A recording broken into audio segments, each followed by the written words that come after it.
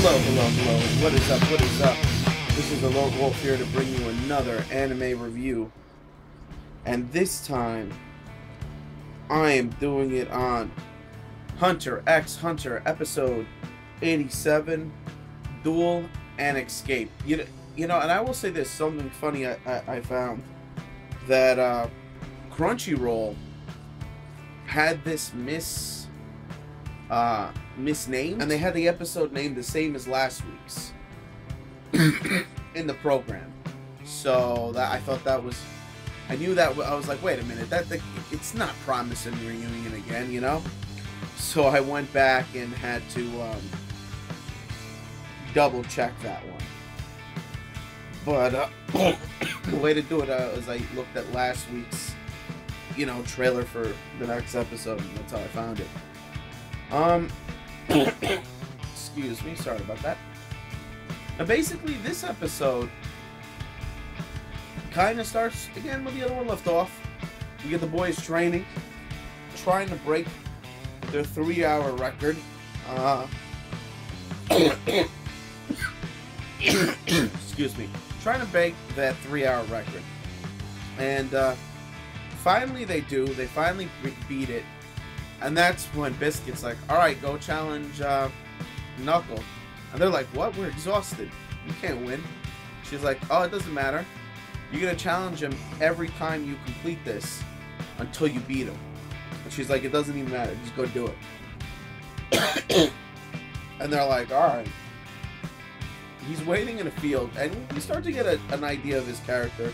He's there with a puppy who like won't leave him alone, and he he, he uh, then the boys get out and they're they're in full power up mode and uh, they go to do what they can and he intimidates the crap out of them because he, he's stronger than them supposedly and he's like all right dudes i tell you what i'll let you hit me as many times as you can if you can make me move from this spot you will go down you know i i will give you my chip right? And he's like, all right, all right. So, or you'll he'll let you keep his ship. That, that's what he said. So Gon is up first, and you know he knows he's not as strong as him, but he's gonna do it anyway. Rock paper rock fist. And as he's standing there waiting, he's like, "Oh man, I'm in trouble. Who told me this kid could do that? I'm gonna have to block. Let, let's hope he, let's hope he hits me in the stomach. All right, I'm gonna trust him. He's gonna hit me in the stomach, and then he hits him, and just sends him flying, knocks him out. They take him back. You know, uh, he he gets, you know, he he wakes up, and the boys are still training, and and uh, they're like, "Oh, you're a good dude. I know that from fighting you." And Killua looks his his, his way of uh, wanting to see something to judge it for itself first so he's gonna fight it is kind of naive. Well, considering Killua has seen what these ants are capable of. uh, also, we get more of the comment of, you know, animals like good hunters and, and all that. Um, then we get all three of them are eating together, and it's funny because Palm walks in and she's gonna she's gonna stab him. and she doesn't because he's enjoying her food i think. That's what it is. And he basically is like dude you could uh you guys can challenge me pretty much whenever you want. You know i'll be there but he's like there's no way you're gonna beat me in the month time that you have so i'll say that and uh so then we get we also get a scene of meanwhile back at the Chimera Ants headquarters, we get first uh, the chairman's team. They're creating with fire and or smoke and illusion, um, like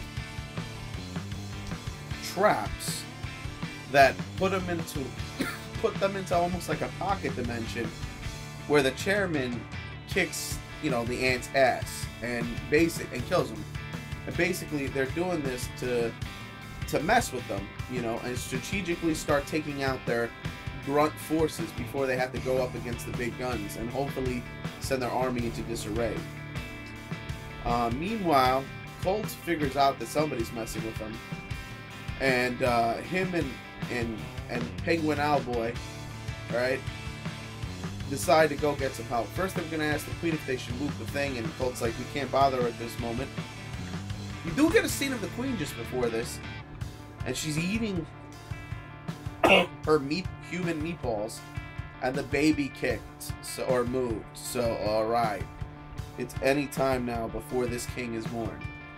Um, so then they're gonna go ask Cat Chick for help, and she's like still trying to bring Kite back from the dead, and all of a sudden now she has a laboratory and and she's good at science apparently, and that's what she's up to. And they're like, oh well, she's like, don't worry, the defense of the inside, the royal guards got. Nobody will, will, will mess with us. You just handle the outside, and so they're gonna go off and try to figure out a way to strategize and motivate, and that's that's what they start to do to brainstorm. Then we go back to uh, to our three hunters, and they're like, uh, basically, you know, they're discussing the tactics, and they're like, well, you know, I'm sure they're gonna move the weakest divisions with the strong divisions, and we should attack them sporadically and increase our attacks, create chaos and dissent and uh, hopefully before our reinforcements arrive, we'll crush them. But meanwhile, the chairman isn't looking too enthusiastic on that idea because he knows what he's up against. After all, she's just one guard he saw, and they know there are two other guards, and if the king gets born, so they, they could be in trouble. Then we go back to the boys. They do their power-up routine again. Then they go to fight uh, Knuckle. Knuckle starts sparring with them basically, and the fight is on. Meanwhile, Shoot is in the background, looking all sinister, like I'm gonna do something. You know, as soon as uh, this this gets done, I'm gonna do something about this. So we'll see. We'll, we'll, we'll try to get a handle on Shoot's personality, um, and that's cool. And uh, that's pretty much the end of the episode. That's pretty much it. Now, we got more training, sort of. You know, we got some comedy out of Knuckle. I really like Knuckle. I think he's hilarious. He's a loudmouth with a heart of gold, you know? And I find him, I just find him funny. And he's a bit, he's a bit silly. Um, so I dig that.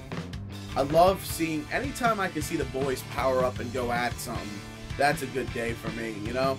That's a good day, and you got to see them fight. I Biscuit's still pretty funny towards them, and you, you, you get, uh, there's a lot of little comedic moments with Palm and uh, her creepiness. So hopefully we'll see what happens, and, uh, you know, hopefully by next episode things will start to move a little faster, and um, we get to see more chaos, you know? But uh, what am I going to rate this episode? I'm going to give it a three and a half out of five. I thought it was a very good episode. Um, like I said, with the action and uh, and the slight, at least we're starting to get some strategy out of out of uh, what the chairman's thinking. So that's good, and we're starting to see. We haven't seen the payoff yet, and I believe the next episode is uh, rock, scissor, paper, and weakness. So we get to see the fight to see which group goes to NGL and which group doesn't, I think. And uh, that's going to be awesome. So having said all this, uh, and uh, again, if you guys have noticed, I have the return of my new my new cell phone, the Nokia Lumia 920, which I'm recording on, and that means I'm back in HD. So thanks for bearing with me for uh, horrible SD the bad. but um, anyway, so click it up if you like it, comment if you must, and please, please, please subscribe if you can. And this is your buddy Alert Wolf signing out.